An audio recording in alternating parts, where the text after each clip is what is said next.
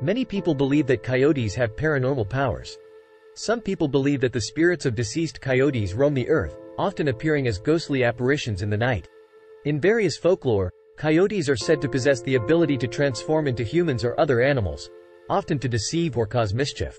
In Native American cultures, coyotes are considered to be trickster spirits and guides, helping individuals navigate the complexities of life while also teaching important lessons. Some people report hearing eerie, disembodied coyote howls in the wilderness, which they believe may be the voices of spirits or other paranormal entities.